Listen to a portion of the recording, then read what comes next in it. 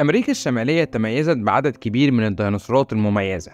ال T-Rex في الأرض ال Quetzalcoatlus في السماء وال Mosasaurus في البحر. تنوع وازدهار كبير. وكنت أتمنى إن الوطن العربي وشمال أفريقيا بالأخص يكون فيهم علماء أكتر لأن الاكتشافات كانت هتضاهي أمريكا الشمالية. لكن ما علينا هنتكلم النهاردة عن الحلقة الخامسة من كوكب ما قبل التاريخ بعنوان أمريكا الشمالية. هنشوف قتالات ما بين الأرض والسماء. عمليات اصطياد في أعماق البحار مواجهات فتاكة ما بين النباتيين الأقوى. فاستعد يا عزيزي المشاهد بجرعة مميزة من علم الحفريات. وعزيزي وعزيزتي المشاهدين اللي أول مرة يشوفونا القناة دي مختصة بالديناصورات والكائنات المنقرضة بشكل عام.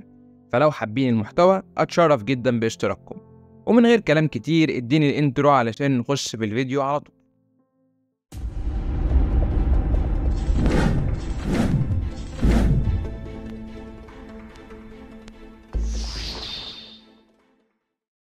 على سواحل أمريكا الشمالية قطيع من ألوموسور بيتنقلوا في هدوء تام بدون أي مضايقات من المفترسات. وده مش من الذوق العالي اللي بيمتلكوه اللاحمين. لا الألموسور دول أضخم ديناصورات في القارة بوزن يصل ل 72 طن. فمحدش من المفترسات يستجرى إنه يقرب لقطيع العمالقة دول. لكن الخبر المفرح ليهم إن مصير واحد من الجبابرة يتقدموا في السن. وده اللي حصل مع جده اللي قدامكم. ده ألموسور بعمر 70 سنة. يتذيل القطيع. العظمة كبرت يا عزيزي المشاهد وصعب يواكب سرعة الشباب. هم كده ماشيين بسرعة يا جيو؟ آه يا عزيزي المشاهد ده في واحد منهم أصلا اتاخد مخالفة من كتر السرعة. فجده قرر إنه شبع من الحياة واستلقى على الأرض. وآخر كلماته كانت ما عادش يقدروك يا ليو ميسي ما عادش يهابوك يا ليو ميسي ما عادش يخافوك ويخافوا منك يا ميسي. ومات ال Alamosaur العظيم ده. وبموته فتح مجال لقدوم المفترسين. بعض من ال Troodons انطلقوا ناحية الفريسة الأعظم لكن علشان يوصلوا للحم لازم يخترقوا جلد بسمك سبعة ونص سنتي وبحجم فكهم الصغير كان شيء مستحيل إنهم يوصلوا للحم. لكن مع قدوم المفترس الأعظم مسألة اختراق الجلد هتبقى حاجة بسيطة جدا لأسنان بطول 15 سم وديناصور ذكي زي ال T-Rex عارف إن الفريسة العملاقة دي لازم هتجذب مفترسين أقوى من ال Troodons. فابتدى ينهش في اللحم بسرعة كبيرة قبل قدوم ال Quetzalcoatlus هنا ال T-Rex رمى بأول أوراقه وهي تخويف المفترس دون اللجوء إلى النزاع لكن الكلام ده منفعش مع ال Pterosaur زي ما نفع مع ال Troodon. بس ال T-Rex شاف إن ال Quetzalcoatlus مش مستعد للهجوم فقرر إنه هيسيبه ويكمل أكل. لكن مع قدوم Pterosaur تاني هنا الأمر اختلف تماما. لو منقار واحد خبط ال T-Rex في عينه هيجيب له عمى مباشرة. ومع قدوم منافس تاني تشتت ال T-Rex ابتدى إن هو يزيد وانتقل من وضع الهجوم إلى وضعية الدفاع لحد ما في النهاية قرر إن القتال ما يستاهلش إنه يشارك فيه. هو ممكن يفوز بس هيطلع منه بإصابات هو في غنى عنها. فساب الفريسة لكنه رجع لها تاني بعد ما يمشوا المنافسين. في الوقت ده في أمريكا الشمالية وخصوصا في البحار في عمالقة مفترسين عايشين حياتهم بسيطرة كبيرة لأن ببساطة مفيش ند ليهم. والكلام هنا على الموزاسور اللي هيخطط لعملية اصطياد هيكون بيها بمفرده على مجموعة من الأمينوتس سرب من الأمينوتس متجهين للمياه الضحلة لوضع البيض بتاعهم. وزي ما عرفنا في الحلقة اللي فاتت إن الأمينوتس دايما بيسافروا في مجموعات وبيحبوا يعيشوا في المناطق الدافئة الهادية. لكن الموزاسور عارف بالظبط هم رايحين فين ومستخبي لهم هناك. الفكرة علشان المفترس يتمكن من الأمينوتس لازم يمتلك سرعة ومهارة كبيرة. ولو امتلك دول بس مش هيكون كفاية لأنه لو اصطاد هيصطاد واحد أو اتنين وده مش هيشبع مفترس كبير زي الموزاسور فلازم يمتلك ذكاء مع السرعة والمناورة. ومين بيمتلك كل ده عزيزي المشاهد؟ ميسي؟ ميسي مين يا غالي؟ أكيد الموزاسور ما تركز معايا عزيزي المشاهد. وفعلا انطلق الوحش الجبار واستخدم استراتيجية أنا بجدها في منتهى الذكاء. وببساطة كانت بتتمثل في قتل أكبر عدد والأكل هيبقى بعدين. الموزاسور كان بيروح ناحية الصدفة وبيكسرها بأسنانه ولما الصدفة تتكسر الهواء بيطلع منها والمية بتخش. فالأمينوتس مش بيعرف يطفو وبيغرق في القاع. كأنها اتشلت ومش عارفة تتحرك والموزاسور حدث ولا حرج. جمع ما لا يقل عن 10 أمينوتس كبار في دقيقة واحدة. وبعد ما خلص ابتدى يجمع الغنيمة بتاعته. بيجردهم من الأصداف ويستمتع بالانتصار. لكن زي ما عرفنا برضه في الحلقة اللي فاتت اللي انت ما سمعتهاش اللي هي موجودة في الوصف إن حتى لو الأمينوتس بيموت منهم كتير إلا إن الأضعاف بتنجو. وفعلا العدد اللي استمر في رحلته كان أكبر بكتير من اللي ماتوا. ونجحوا بالفعل في وضع البيض بتاعهم في المكان الآمن. وهنا تكون انتهت رحلة الأم علشان تبتدي من جديد رحلة الأطفال. البحيرة دي مليئة بالمشاكل. درجة حرارة عالية منسوب منخفض من الماء ومعادن ذائبة سامة. مياه غير صالحة للشرب. ومكان صعب يعيش فيه أي كائن حي. لكن زي ما اتكلمنا في حلقة الأراضي الوعرة أي مكان يبان إنه بلا حياة نسبة كبيرة جدا هتلاقي فيه حياة لأن ببساطة في كائنات بتجد الظروف دي ملائمة جدا والكلام ده بينطبق على البحيرة اللي أمامنا.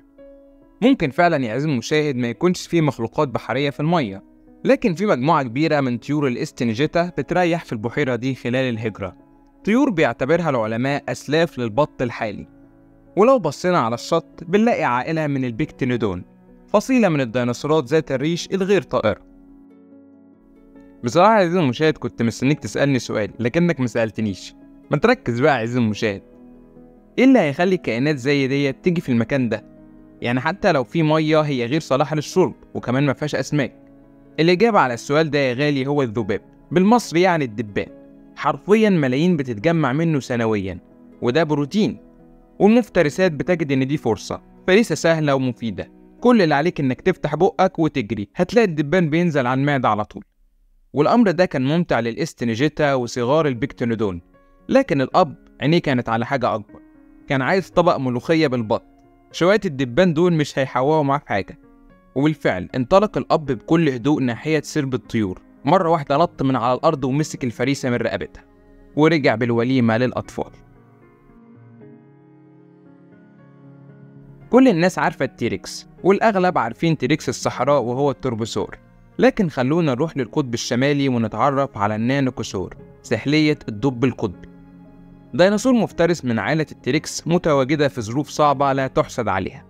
أنثى وحيدة مطالبة باصطياد أي فريسة وإلا هتموت من الجوع. ومكان زي ده نادرا ما هتلاقي فيه نباتات وده بسبب غياب الشمس فنادرا برضه ما هتلاقي فيه فريسة عاشبة. لكن لحسن الحظ كان في بعض من النباتات متواجدة ما بين الثلوج البيضاء لكن الأغلب النباتات دي بتبقى جافة بس ده ما منعش الأورينثومايمس من التسارع للاستفادة منها. وهنا كان لازم تتدخل النانوكسور هي مش عارفة إمتى هتلاقي فريسة تانية. وبالفعل انطلقت ناحيتهم بأقصى سرعة. وكل ما تحاول تقرب منهم القطيع كان بيبعد لحد ما المسافة ما بينهم بعدت خالص والاصطياد بقى شيء مستحيل. وفشل النانوكسور في الاصطياد كان ليه أسباب واضحة. أولا الأورينثومايمس كائنات سريعة جدا. علشان تتمكن منهم لازم المسافة بينك وما بين الفريسة تبقى قريبة. وبقرب المسافة الاندفاع القوي هيساعد أكتر في الحصول عليهم. بس النانو كسور كان صعب عليها تقرب المسافة ما بينها وما بين الفريسة لأن المنطقة كانت مفتوحة. ومفيش أي مكان للاختباء. فهي فهمت إنها لازم تلاقي المكان المناسب للتخفي.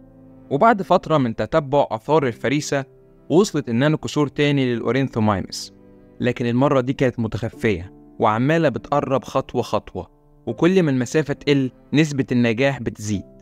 لحد ما وصلنا للحظة المثالية انطلقت المفترس ناحية الفريسة وقرر القطيع إن هو ينقسم علشان يشتتوا المفترس لكن النانو كسور كانت حاطة عينيها على فرد بعينه ومش هتسيبه غير وهو في أسنانها. وبالفعل الفرد اتعثر في الطريق وكمل يمكن ينجو ولكن تمكنت منه النانو كسور وأخدت الفريسة للأطفال. لكن علشان يكبروا لازم تكرر نجاح العملية دي تاني لحد ما الصغار يكبروا وينضموا للأم في رحلة الاصطياد.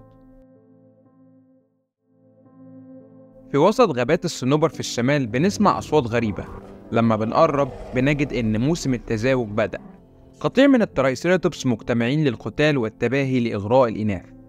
الذكور هنا بتتقاتل بعنف شديد في بعض الأحيان ممكن يفقدوا قرونهم أو حتى حياتهم. والستات بتيجي تختار على الجاهز. اللي على مزاجها هي بتختاره. بس ده شيء طبيعي الذكور هم اللي محتاجين للإناث. لأن الذكر ممكن يتكاثر مرة واتنين وعشرة. الموارد بتاعته كتيرة جدا لكن الأنثى مواردها محدودة. فلازم تختار بعناية. تشوف مين الأقوى الأحلى مين اللي يقدر يحافظ على العيلة من هجوم المفترسين. فعلشان كده الشباب بتكون متحمسة جدا لإظهار القوة اللي بيمتلكوها. يعني الفرد ده مثلا في ذروة شبابه. بيمتلك قرون طويلة وصلبة وشغال تباهي بيهم لحد ما وصل عم الحتة الكبير. ذكر بعمر 30 سنة ووزن يتخطى 9 طن. جاي ينيم الغابة من المغرب بس هنا حماس الشباب بيظهر. فرح الشاب إنه وجد منافس ليه. فيا ترى مين اللي هيفوز؟ الشاب اللي عنده مرونة وطاقة ولا الحاج ذو الخبرة والقوة؟